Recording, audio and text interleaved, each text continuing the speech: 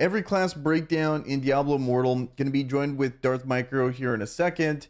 But wanted to talk about this list, how it works. It's going to break down every single category so you can get a better idea. It's just not going to be a tier list like S tier or A tier, whatever. It's going to actually be specific to each game mode. And then also on the other side, they're they're weighted based on how good some of the things are, how important it is to be good at whatever those things are. So if you're really good at PvP, for example, that is weighted way higher than say being beginner friendly. If you're really good in solo play, that's weighted way higher than other stuff because those are the things that really matter at the end of the day, like how good you are in PvP. That's going to be the majority of your playtime. Eh, so it makes sense to weight them. Before we in the video, I noticed we have a ton of new viewers watching the channel. 94.4% of you are unsubscribed. If you can hit that subscribe button, that would mean a lot. It helps out the channel a ton. And with that, guys, let's get into the video. All right, here's the list here, starting with Barbarian. All of the different categories are listed here, so it can kind of help break down where they excel, where they're a little weak in. Me personally, I think when it comes to Barbarian, they are in a position where they're they're kind of hedging their bets a little bit. In group play, they have decent but not great team buffs. And then in solo play, they have great AoE damage and they can help clear minions really well. It's just not that valuable to bring to a team. Pretty much everyone has great AoE damage. And then their single target damage is kind of lacking. That's how I would look at the Barbarian class as a whole. Yeah, I haven't really got a chance to play him too much. Um, it seems about accurate from what I've heard. I've been having to kind of live through you in terms of how the Barbarian acts. Unfortunately for PvP, like I think a lot of people are going in thinking they were going to be a really good class for PvP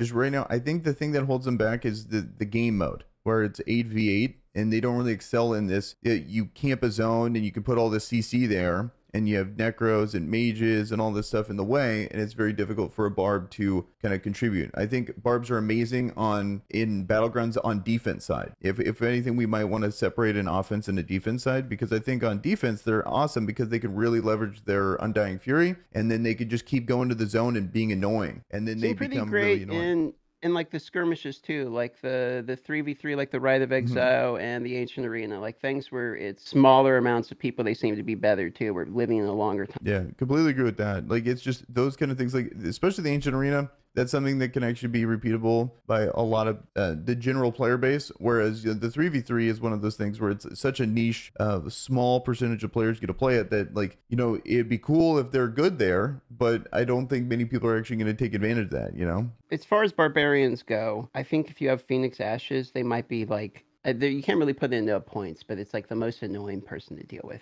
Well, where it's it's you have to kill them what was it three times uh, yeah basically yes. right and, and their cooldown's 30 seconds because when it comes to phoenix ashes it works with barbarians exactly how you'd want it to whereas if you have undying fury then it's going to proc that first and then if you don't have undying fury then it procs phoenix ashes so it's actually built really well the thing that's not built well is cheat death so cheat death works with the gladiator tree where you get stunned but then you're getting stunned with your undying fury so then the time that you would be able to life steal with Undying Fury, you're stunned by your own cheat death. So it's kind of counterintuitive there. So it's not 100% perfect. Yeah, it's not like yeah dream scenario for a barbarian. But let's move well, on to like... the next class. Well, overall, I think they're they're solid. They have decent support, decent damage. Oh, one thing that they really excel at, in my opinion, is going to be challenge rifts. Undying Fury is amazing in really? challenge rifts, and they really punch up well there. If you really want to be able to push a hardened challenge rifts, like Barbarian's going to do really well there. See, that's actually something I was kind of curious because I've always kind of thought that they would struggle there, just due to the fact that they're like melee and all that. But I'm thinking about the Undying, so you can just sit there and tank like minions that are basically yeah that okay. and interesting. Your your strat of um I don't know if it's your strat, whoever strat it was. I learned it from you. The you pass the first minions, you go to the end, and then you let yourself die, and then oh. make sure you spawn the boss. You know, there. I've heard they nerfed that. I haven't tested um, it, but I heard that um, they nerfed it in the patch. That's a bummer because that made barbarians like it covered all their bases. You can have these massive things, and then yeah, at the end where they struggle against the boss, at least I can just keep spawning and dying. So it was um, a good, a it, was a good, it was a good uh, tool to use. But I, I think that let's skip one and go to your class, Necro. This is the one sure. you played a ton. A lot of tens and nines here for this class. What what are your thoughts on this list compared um, to your thoughts on him? I mean, it's probably pretty accurate. I've been I've been memeing about it, being like, yeah, Necro's bad. Like, yeah, it needs a buff, you know, because obviously I don't want my class to be destroyed. But the reality is, Necro's probably not okay. Like, and and they're getting worse. I mean, worse is in they're getting statements. They're they, they're disgusting uh, in, in, the best of ways. You know what I mean? Mm-hmm. Like they make you sick in a way that you love to be sick. I, I don't know how much clearer I could uh, be about them wait, here. They're actually they're, they're like ill. Are they ill? They are ill. They're- in okay, fact, uh, okay. they are a great class, dude. And I mean, not only are they great in PVE, but they're great in P. Like they have it all. I mean, they they've really got it all. They've got so many tools. They've got like defensive tools that are really good. They've got C tools. They got high damage tools. They got ranged abilities. I mean, they. I will say that I was a little disappointed with some of the new legendaries. I basically tested all but one of them, Uh-huh. and um, some of them are not as exciting as I would have liked. To be fair, um, but there's some of them that are real winners in there that are just like actually really fired. It's not like they didn't already have good legendaries. Necro, eh, they're good everywhere. So I, I could talk Mhm. about them for a while, but no, I think the list is pretty close to accurate. The only thing I would say is like I think everyone's kind of the same in dungeons. I think dungeons are like not hard, and you don't really need except maybe Mhm. Crusaders like way better than others, about right. But it's like I, I think the Necro maybe is a little bit better in the dungeons than I the list says, but just because of the damage. But I think in the beginning it can be really be seen like it doesn't very much because I think Necro needs like you need a lot of the builds you need a lot of stuff to play before they really come together. Like getting the summon uh, uh set, set bonus is huge because Mhm. of the crit rate and stuff. There's a lot of things that make Necro get better like all of a sudden. Their damage is probably Yeah, I Maybe like completely agree with that. I was gonna say like a six on here. Like uh, we need to bump that that number up. It's uh, it's close, but it's yeah, it's, seven, it- maybe an eight. bit- Like I feel like when you get all of the summon stuff, you get like the magic of, of um, like the affixes on your gear, like to increase their summon damage. Like if we had DPS charge, uh, we can really know. But they have so many different damage sources that I feel like it would be significantly higher. I guess it depends what build they're running too, because like Mhm. some of the builds are like sort of a zero damage type of build on purpose. Yeah. Like so, if you're running that, then I think it's cool that you can run like Z- ZDPS and actually um, contribute. Like they have the Yeah. support to be able to do that, uh, which is awesome. And they have a lot of build diversity, so you can, if it gets a little boring in one class, you can actually, or one build, you can change it up, uh, which is nice. Kind of rare in this. Necro doesn't get boring. There's a lot of different class styles, so Mhm. um, I'm, I, yeah, no, I, I, I couldn't rate any higher. I could go on. It's just going to be me recommending it a bunch for a while. So. So next, let's go to Demon Hunter here. Demon Hunter, I think this class is probably the most straightforward class in the sense that the whole point of the class is just good damage. And they're squishy, kind of ranged attacker. It's not much, but it's honest work.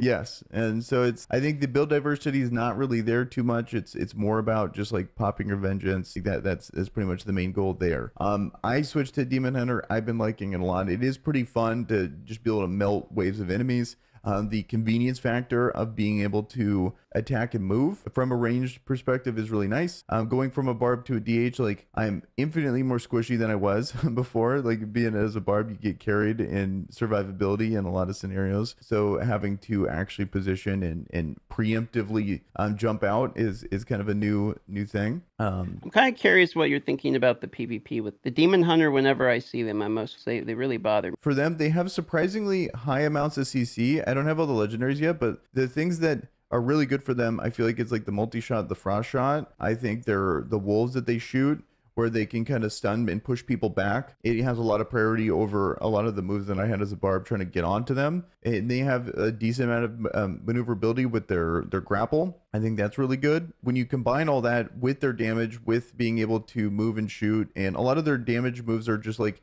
they put it in an area and they can move away. They don't have to channel it like a mage or like like Oh, I love it when you can do stuff like that. That's something Yeah. Necro could do that I love. So and then their their vengeance cooldown makes him way stronger, but it's a smaller cooldown. Like I'm used to Wrath of the Berserker being a 30 second cooldown, and it's like I become really powerful with that on a barbarian, but it's only a 20 second cooldown with a, a demon hunter. So it's like your your big steroid is coming up pretty quick. And then the new legendaries that came out and have the new one where it increases their critical hit chance but lowers their life. I can see that doing a ton more damage. Like giving crit to a demon hunter is pretty insane, even even if it does make him. So And, uh, you're so now that you've swapped to Demon Hunter from the Barbarian, uh, are you feeling like you regret it, or you think that you, you actually are liking the Demon Uh, Hunter? I like it. I feel like I got exactly what was advertised, like a ton more damage and the convenience of a range class, and you really see the damage numbers. Like it was pretty clear that they do so much more damage than a barb. Hmm. uh, I wanted to like actually like feel it, you know, like I can watch people Yeah. do it, but I wanted my gear to be over on here.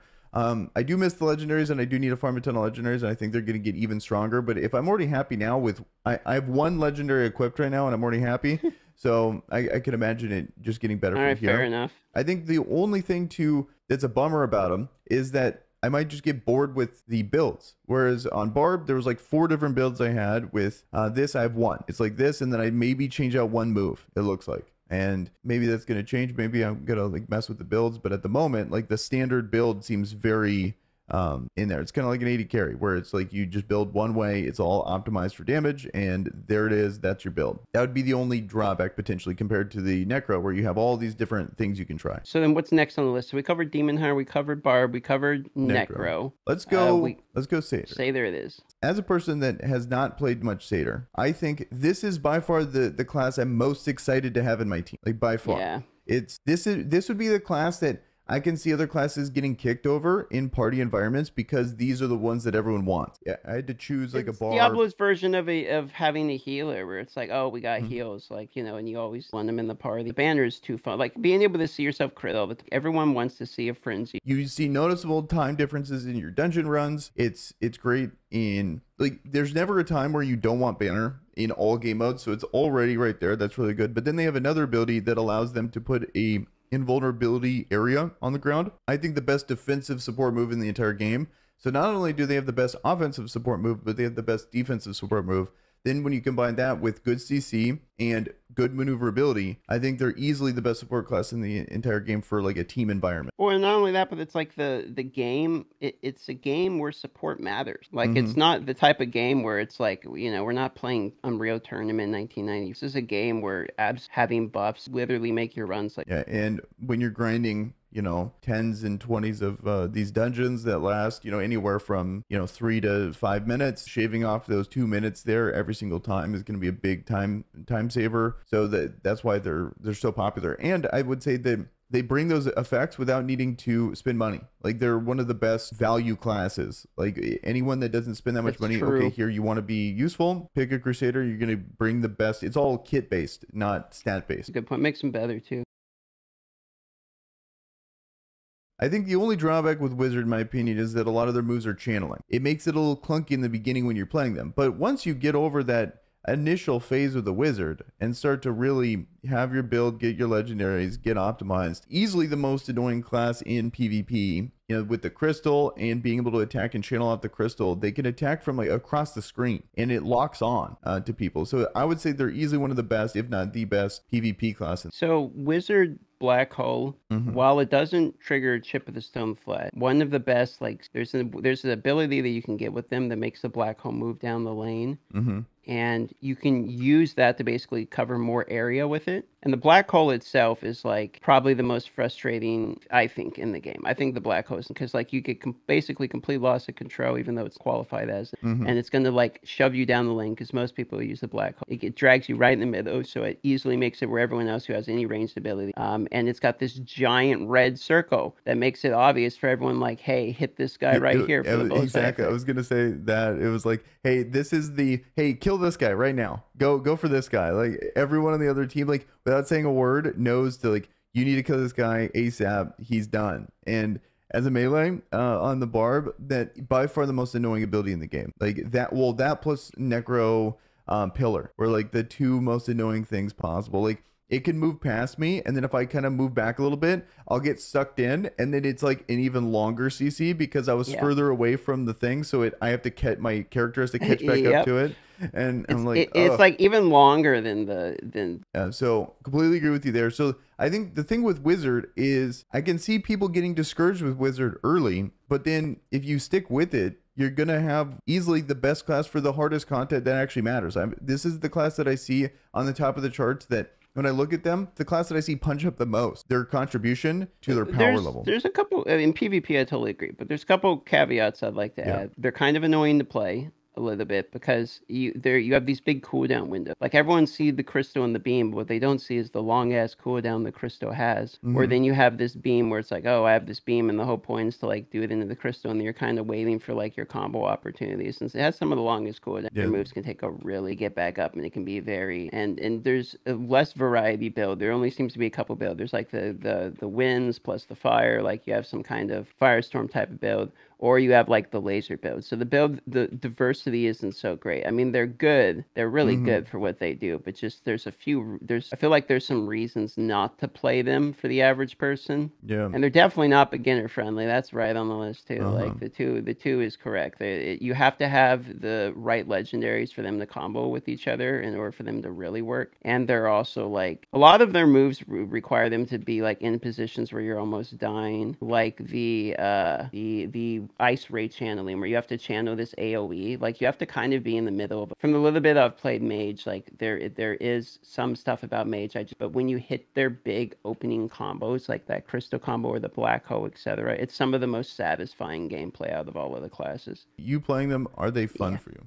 Uh, yes. Yeah, okay. And then lastly, we have the monk. From a PvE perspective, like I'm usually not excited to see a monk on my team, but from a PvP perspective, I am definitely excited to see a monk on my team. I think they're incredibly good and really survivable. Lots of CC, lots of untargetability. Like they just force themselves to survive a ton. I think they're a really good disruptor in this. And as a melee class that's tough to do, range classes just excel well, especially with the game mode, the 8v8. For them to still be useful and really powerful, I think is really good. seem to me kind of remind me of Shaco. They're a very mobile, teleporty, annoying, hard to get your hands on type of class. They're fun though. Like I think that I think they're one of the more fun classes. It feels really painful to open world farm with. Yeah, that's one of the the drawbacks to them. They they remind me of the wizard in, in that sense, kind of maybe even worse than the wizard in that sense, where it's like they're really clunky to get going, but once you get them going, they're, they're useful in the in the content that matters. In my opinion, or some of the higher weighted content. In my opinion, getting there is the the difficult part. Uh, One of the benefits is they're kind of rare. Not many people play them, so you're going to be u- unique in that sense. Not going to bring that much overall damage. Probably one of the lowest uh, hitting damage classes. If you're you're on the fence about it, you want to PvP a ton. I think monk is going to be one of the strongest classes you can pick. I, th- I think the where you're right on about it is how many invulnerability teleports they get and kind of disappear off the map. That's kind of where the